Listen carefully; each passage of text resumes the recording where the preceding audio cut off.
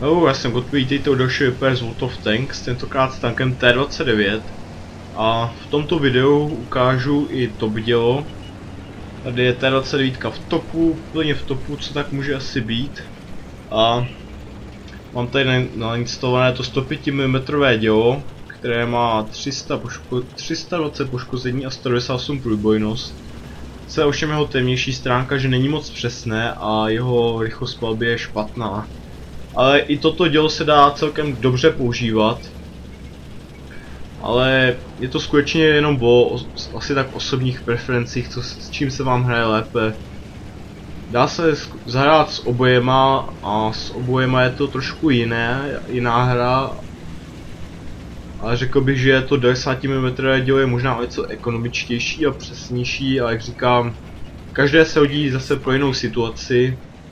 No říct, že řekl bych, že pro situaci jako je tady vysoudil možná spíš to 90 mm. A zase, když třeba vykukujete někde přes nějaký kopec, tak je rozhodně lepší to 105 mm. Kdy potřebujete spíš větší poškození. Tady mě ta Vítka překvapila, že na mě trošku čekala. A tu už jsem se nechal trošku hloupě trefit, protože jsem ji tam opravdu nečekal, ani jsem nevěděl, že o mě ví.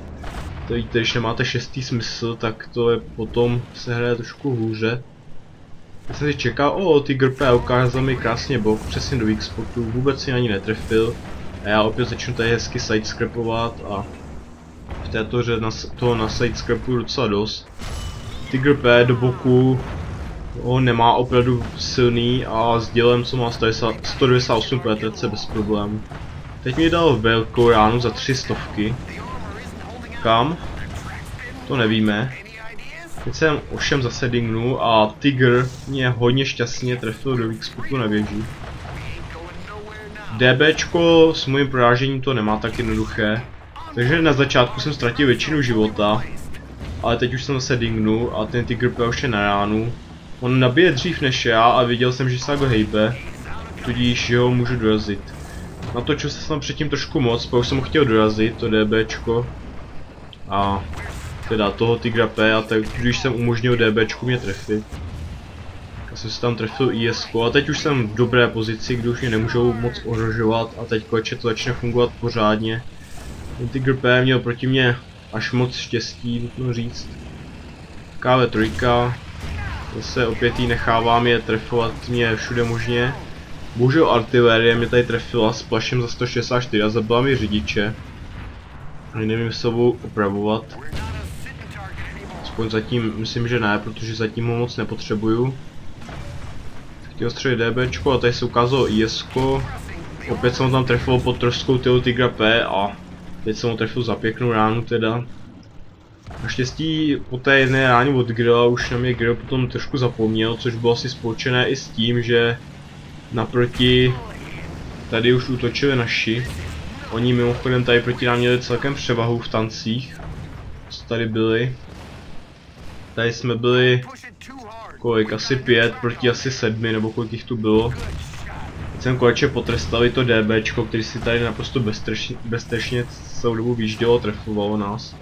K3 se tam nechá pěkně hloupě trefovat, naše K3. Opět další dingnu, bohužel na ní nemám ránu, teďka ho trefit by bylo hloupé. To bych udělal přesně to, co dělají oni tady, že mě trefují do mého natočeného boku. A já to všechno buď dingám, anebo mi to papá pas. Jsem se pokusil mu prorazit věž, bohužel neúspěšně. Ono, ta věž není moc dobrá, víte, že jsem zase dingnul u tu IS-2. Ono možná, kdyby už nebyla he, kdyby byla chytá, nebyla hečka, už by mě možná i dorazila. A to jí nepadlo. Opět jsem zkusil prorazit, ale ty věže ISek jsou strašně troll. Mám dvojnásobný poškození, co ona má věž na tom a nebyl to gun mantletu a stejně to neprorazí.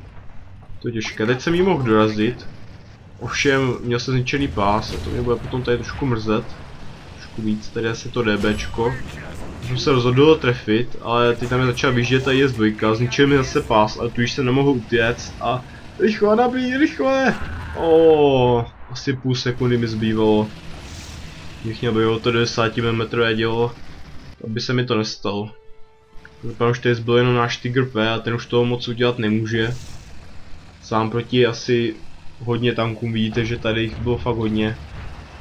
Tady jediný jejich dva mrtví tanky, nebo kolik jich je tu. Asi tři nebo čtyři mrtví tanky. A, tu, a ještě tady jsou tři. A ještě jich tu bylo asi o dva víc. Vidíte, že tady byly. Když to nás tady bylo pět, takže tady jich bylo fakt asi sedm nebo kolik. Všichni tady ty, co přežili, tam ještě byli. Těch je pět a ještě tam čtyři umřeli, takže dokonce devět jich tam proti nás pěti bylo, což jsme se drželi docela dobře, no říct. A teď už naštěstí se ne, i nenapadlo se vrátit do základny, což byla ta správná věc, co měli udělat. Ale už jenom to šli kepovat, to bylo hloupé, kdyby se všichni vrátili do základny, tak teoretickou šanci ještě měli, a tak už to bylo jenom o tom, že to tady nakepujem. Víte, že tak už prostě už to nestíhali, my jsme to nakepli o dost rychleji a hra byla vyhráta. A jak vidíte, tak jsem rozdal 3518 poškození, i jsem 719 nasvítil, což bylo asi možná i pro naší artilérii, nebo to, jak trošku se tam spotil. Trefil jsem každou ránu, takže jsem dostal odstřelovače, což bylo teďka o víkendu dobré, protože za to bylo 6000 krytů navíc a tudíž jsem díky tomu i díky tomu vydělal. Sice mě zabili, ale tak jsem skončil první ze 13 1313 zkušeností jsem dostal.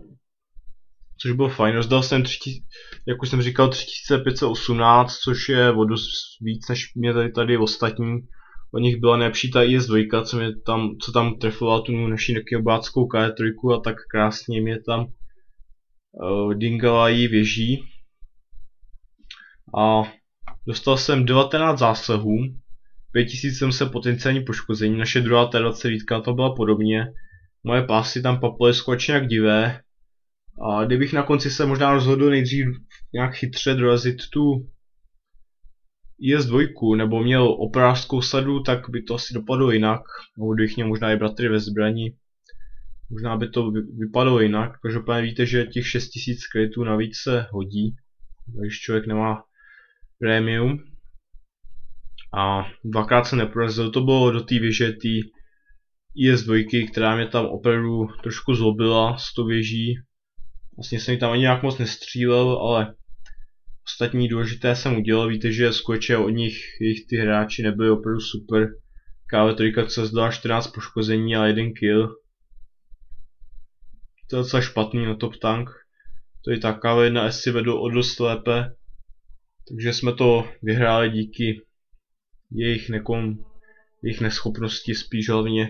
Kdyby oni, když jich tam bylo třikrát, tak no dobře, dvakrát tolik co nás, a kdyby hned vyjeli na nás, tak nás mohli úplně v pohodě rozsekat. Ale ne, oni tam čekali, stříleli mě do pásu a divili se, jak jim ubývá zdraví a pak místo toho, aby se vrátili, tak radši šli kepovat, protože to je jasný, že to nemůžu vyhrát, ale získat nějaký bodíky z kapování a to je hlavní o co jde, že ano.